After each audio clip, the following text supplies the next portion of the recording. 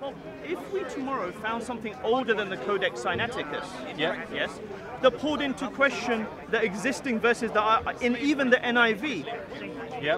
we could say that we could end up with a Bible. You could be following false verses or stories that don't actually exist in the Bible today. What we find from textual criticism is that textual criticism mis- disproves the Quran.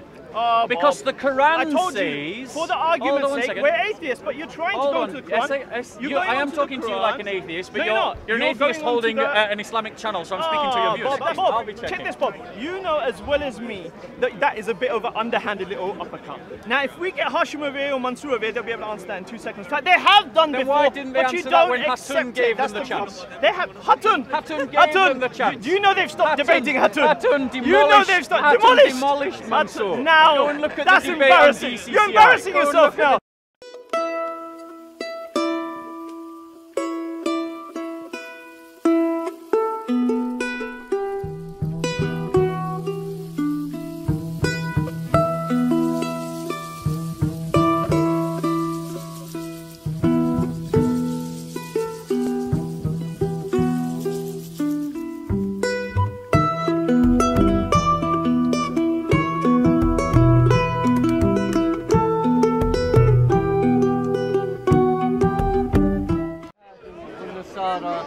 والصابئين آه، لا خوف عليهم If uh, ISIS is coming, how many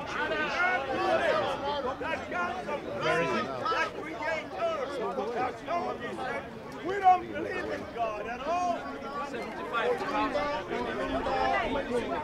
Bob, Bob, How do you know I haven't subscribed? Bob, I've got a question. I already know you're subscribed. How do you know I haven't subscribed?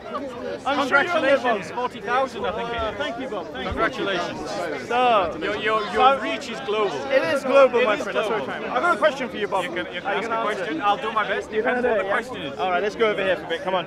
Whoa, whoa, whoa. Are you, are you entering into debate now? Okay, you Just a get quick filmed question, as 'cause I gotta get back well. to the Okay, camera. Come on, yes, let's go over here. Okay. Bob, explain to me, uh, you know, the, the actual the history of the Bible itself. Yeah. Interesting question. I want to ask that you know the authenticity of the actual Bible itself. Why is there a difference between the New Testament and the Old Testament? It's a serious question because I'm interested to see what you'll say. Because no one's asked you that question. I don't think. Have they asked you? Are we question? talking about theologically? No, we're talking about historically looking at the documents. For example, in the in the British is a British library, isn't it? Where the Yeah. Codex Sinaiticus. Yeah. Is it true, as a Christian? I'm asking you as a Christian. Is it true that there's differences in the Old Testament and the New Testament? Genuine question. When you say between the Old Testament and the New Testament, what, what Verses, specifically like- are you well, what I heard was- Are you talking? Go on. Let me say, let me tell you what the claim is. Yeah, yeah, yeah. Like I said, it's not my claim. Yeah, I, yeah. I'm asking you information on it. That there's verses that are in the old. Uh, sorry, sorry, not Old Testament, New Testament. In the KJV and the NIV. Yeah. Are we talking about quotations of the Old Testament in the New Testament? We're talking about verses that are in the KJV King James version. version that are not in the NIV. Is this? You understand those? Yeah, you know, yeah, you yeah, know about that, yeah, yeah? yeah, yeah. And and that exist in the Codex Sinaiticus. In, in, exist in the Codex Sinaiticus. Yeah, you know the Codex Sinaiticus. So you, what are you oh, talking sorry. about? Are you talking about the Comma Johanneum? They don't exist in the Codex Sinaiticus. They- they I rephrased that. Sorry, my mistake. Are we talking about the Codex? Are we talking about the Comma Johanneum? No, we're talking about the Codex Sinaiticus. Can we, There's in the British give an- Library. can we give an, ex, an example to discuss? Because the only one that Of I, course, of course. For example, you know the, the story of the adulteress. Yes. So that's that exists in K, KJV, correct? Yeah. But it's not. It doesn't exist in the NIV. That's correct. Is that the reason it doesn't exist in the NIV? Is that because it doesn't exist in the Codex Sinaiticus? Right. So the Codex is now. Just, I- I understand your question now. I That's understand fine. That's fine. Let me just clarify for myself. Yeah. The Codex Sinaiticus itself. Do you believe it to be the oldest uh, complete New Testament text that we have Okay. today? So th- there's Yeah, multiple questions there. Oh, sorry, sorry. Actually, it's just one question. I'll simplify it, yeah, just to not complicate things.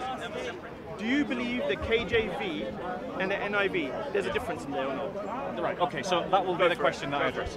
Firstly, I'd like to say to everyone on who watches on SC Dawah, um, the, the, the, the question implies many things that are not necessarily true of the Christian faith. Um, the, the premise of the question is sound in that the NIV and the KJV do have different verses. So, so one example of that would be in uh, John chapter 7, verse 53 to, to John chapter 8, verse 11. You, you find that in the KJV, but you don't find it in the NIV. Correct. Uh, another example of this would be what's known as the Comma, comma Johanneum, which is in John 5 uh, 7. These are textual variants that, in terms of the, the New Testament manuscript, don't appear in our earliest manuscripts. The KG, the KGV, the KJV, the KJV, the KJV, yeah, the KJV um, um, was using the text that the church had at the time, which was dated to the 10th century. Uh, and it was it was a translation based upon uh, a guy called Erasmus, his third critical edition of the New Testament, which was translated into English and contained passages, some passages that were actually uh, put into the text in the 15th century, like the Comma Johanneum in John 5:7.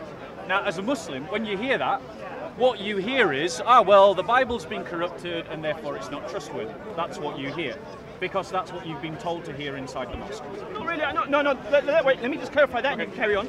To be fair, that's not that's not true, is it? I haven't been told that in a mosque or anything. I heard about that. I read it online. So Yeah. I, qu- I came to you fairly, Yeah, yeah. and I questioned you. Okay. And you're answering So- it, and that's no problem. So that's not But, that's but, not but fair. many, But yeah, many, many, I, I, I, I, am, I have heard it in mosques oh, oh, that oh, I have attended. you've heard it in mosques. I've heard it in mosques that I have attended as a visitor where that kind of argument and logic is being put forward. Now, there's a couple of points to respond to that that I would have to say. Firstly, we Christians don't look at our Bible like you look at the Quran. You look at the Quran like it's Nazil. It's literally ad verbatim the word of Allah. It goes from Allah, it goes to the angel Gabriel, it goes to Muhammad, and then it goes to the scribe, and there's no human influence. That's right. Now, the fact of the matter is that there is evidence of human influence in the text of the Quran. We'll do that but later. that's not the topic. We can do that next time. Go on. The Christians, one. the, the Christians look at the Bible differently. We do not believe that the Bible is the ad verbatim word of God. That is not our belief. We, when, when I invite you to the Christian faith, I'm inviting you to believe in something radically different from what you already believe.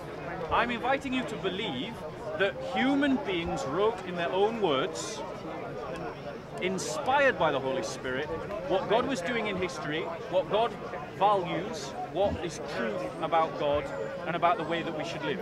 But it was human men writing in their words. There's no promise of divine protection.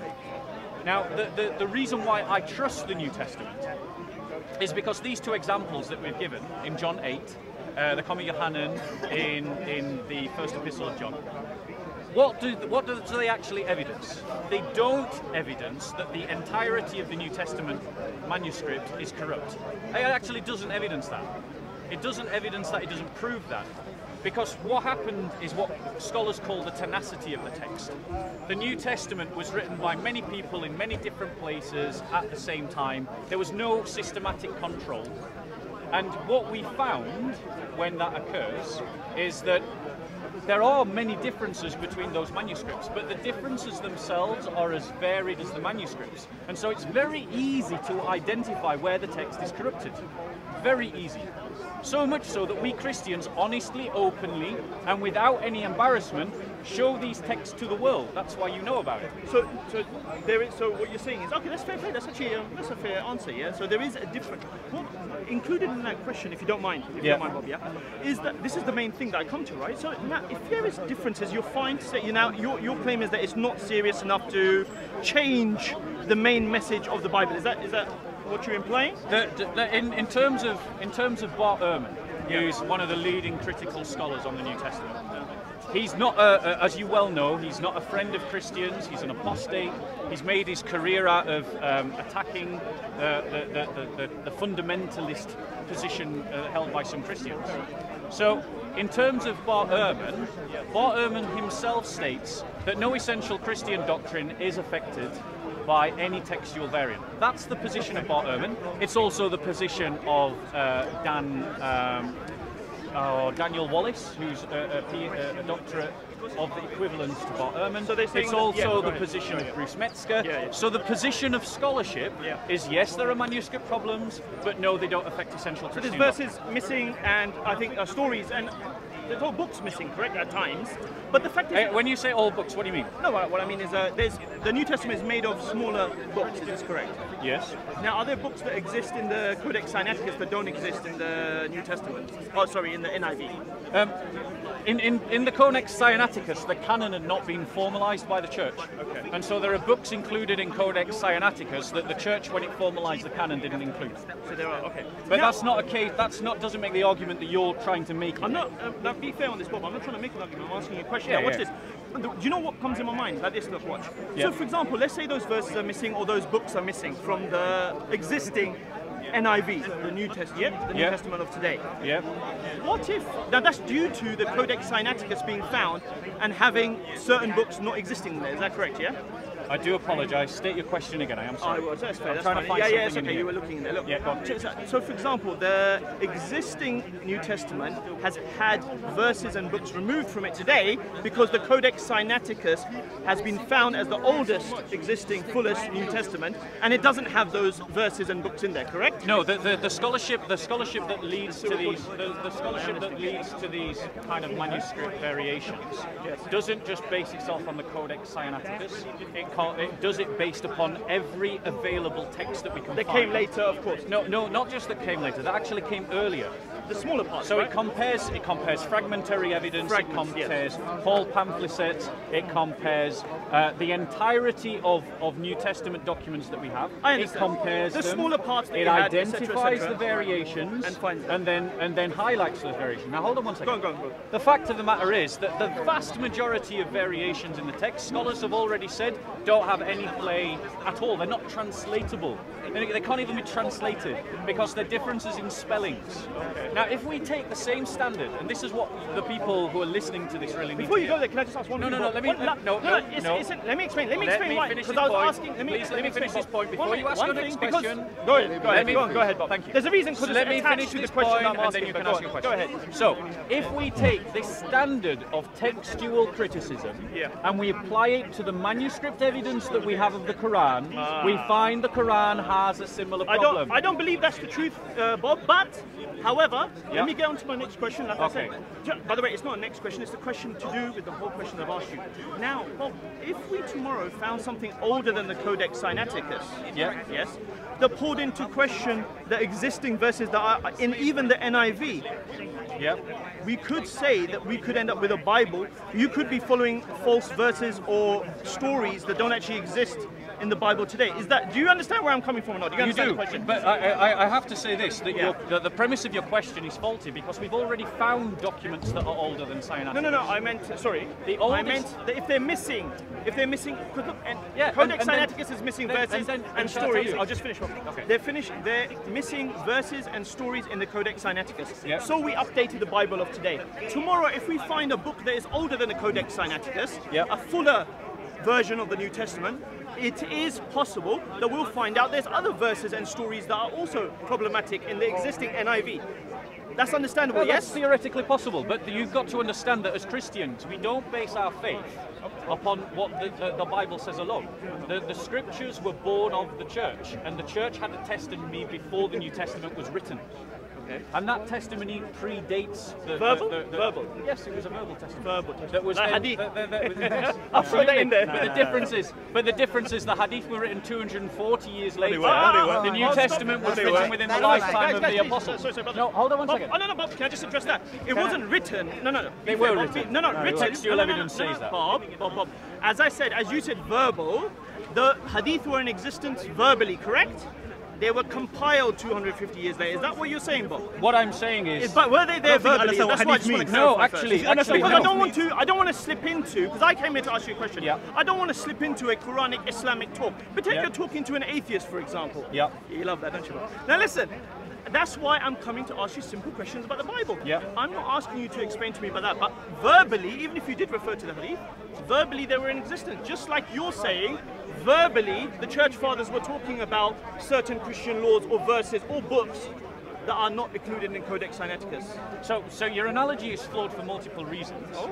It's flawed because the hadiths textually don't exist until much later, 200 No, no, no, no. years That's later. exactly what I said. Verbally, The New Testament... were they in existence? By the way, there were. The a lot of New them were written down Testament- prior the to that. New Testament. Now you're going New off on this, Bob. That's not I'm fair. coming back to the New Testament. That's not very fair, The is it? New Testament, the New Testament was written within within 90 AD. That is the consensus of Bart Ehrman, Bruce Metzger, Dan Wallace. 90 AD So the New Testament I'd is have to far check that, closer.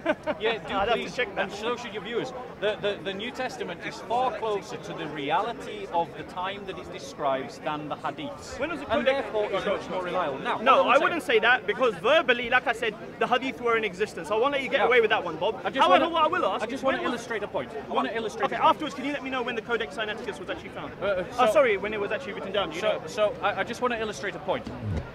If I produce to you a cup of water, it is 100% water. If I drop into that water something that would be the equivalent of 1 or 2% dilute uh, uh, orange juice, the fact of the matter is, to all taste, flavour, to all conditions, the orange juice, the, the water is water. It's not Uh, orange juice. Hold on, would it become misty?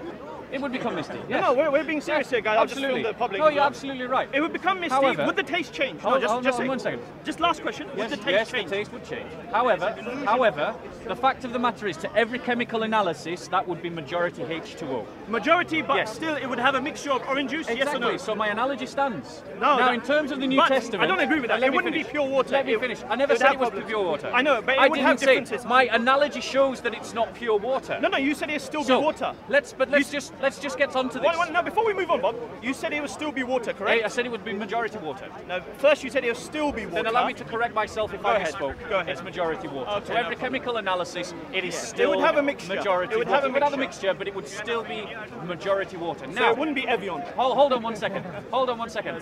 What we find from textual criticism is that textual criticism mis- disproves the Quran.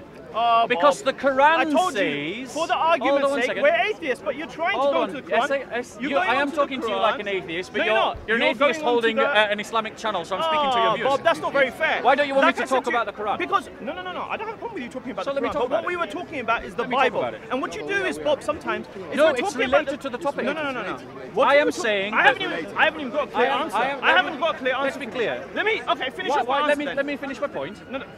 You're, you're asking questions, I'm answering. So let me. Go ahead, go ahead, Thank you. Bob. Go So textual criticism disproves the Quran. Ah, the textual criticism that you're talking about nullifies the testimony It of the not, Quran. Bob. It does because not, and you've been told this many times, Bob. That no one can change the That's word correct, of Bob. Allah. Yes. And was the Injil the Are word we of going? Allah? Are we going off? Answer Bob, the question. Bob, are we going? Was off, Injil when the word of Allah? Okay, watch this. When he was talking about the word of Allah, we're talking about the Quran at that point. No, You no, that, no. Bob. We've explained this many times. Now, Bob, what it is is, I'm not easy to drag into a totally separate conversation. Do you understand? What Yeah. cameramen do. They stand there, they observe. Yeah. So that's not going to happen. Yeah. I asked you a simple question, And I'm answering it. and you haven't finished. No. The implication. What happens? No, no, no, Bob. Then we'll end the conversation, Bob.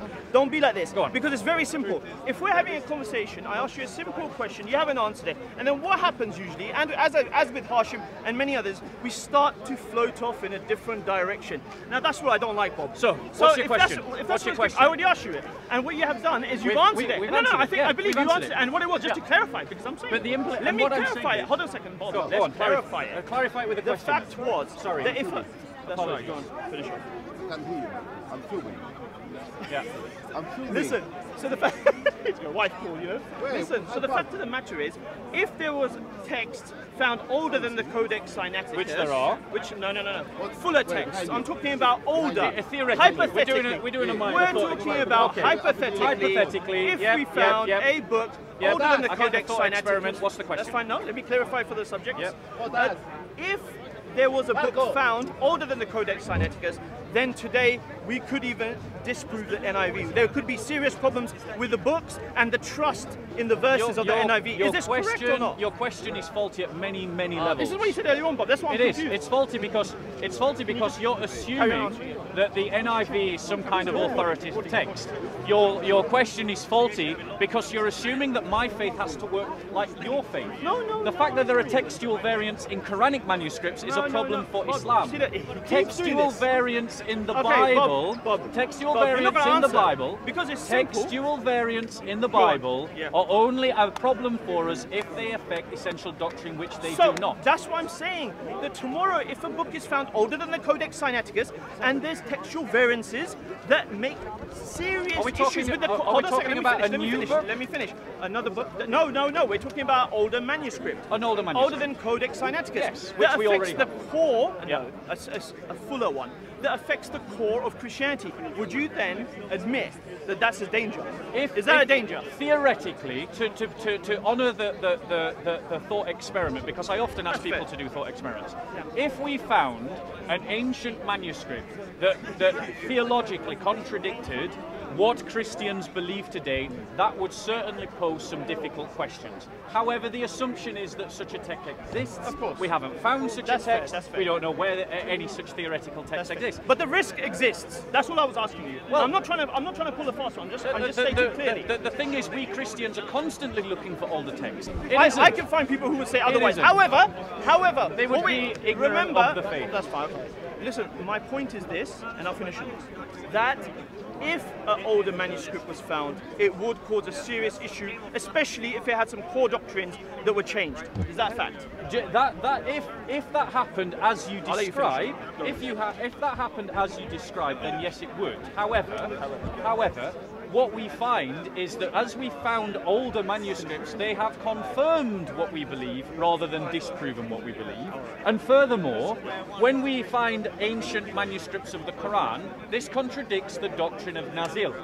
Now I would Now, dare Bob, you, now, SC Bob, Dawah, now, Bob, to now, broadcast Bob, this without I- editing or without change. No editing I'll be checking. But Bob, I'll be checking. check this, Bob. You know as well as me that that is a bit of an underhanded little uppercut. Now, if we get Hashim over here or Mansour over here, they'll be able to answer that in two seconds. They have done Then before, why didn't they but you don't when Hatun gave. Them the problem. chance? They have Hatun. Hatun gave them the chance. Do you know they've stopped Hatun- debating Hatun? Hatun You know demolished- they've stopped Hatun demolished. demolished Hatun- Mansour. Now, look that's embarrassing. You're embarrassing yourself now. Now you're embarrassing yourself. To that. I listened to that. There's people laughing Yeah, literally at that comment. And- and they're all part of the Islamic Bob, that was hilarious. so? There is no Islamic Dawah team, Bob. But take care. It's take been care a pleasure. yourself. Have a care. nice day. Take. Bye-bye. See you later, JC. So what I would say to you guys, like, if you're going to create a standard, you have to be consistent to the standard that you create. If you're going to say something like that the textual variants of New Testament manuscripts mean that we must reject the Christian faith, then that means that what you're saying is that the Quran is wrong. When Muhammad was instructed to go to the people of the book and to tell them to judge by what is in their book. If Muhammad is instructed to go and tell the people of the book to judge by what is in their book, Allah is assuming that the book is reliable. So who is right, Allah or the Muslims? Now, furthermore, it says in the Quran clearly no one can change the word of Allah. Now, if no one can change the word of Allah, and the Injil was the word of Allah, and the Torah was the word of Allah, then that means no one can change the Injil or the Torah. So textual criticism, whilst not being a threat to the Christian faith, is actually a debunking of the Quranic position. And furthermore, textual variants of the Quran, like the pamphlets that's found in Sana, like the comparison of the Topkapi and the Samarkand to the 1924 version of the Hafs Quran we have today, they have textual variants. So be consistent. Your own texts have problems. Your own texts have problems. And it is the only one who's threatened by that is the group that believes that a changed book can't be the word of God. And it's Muslims, not Christians, who believe that. So this problem is a Muslim problem, not a Christian problem.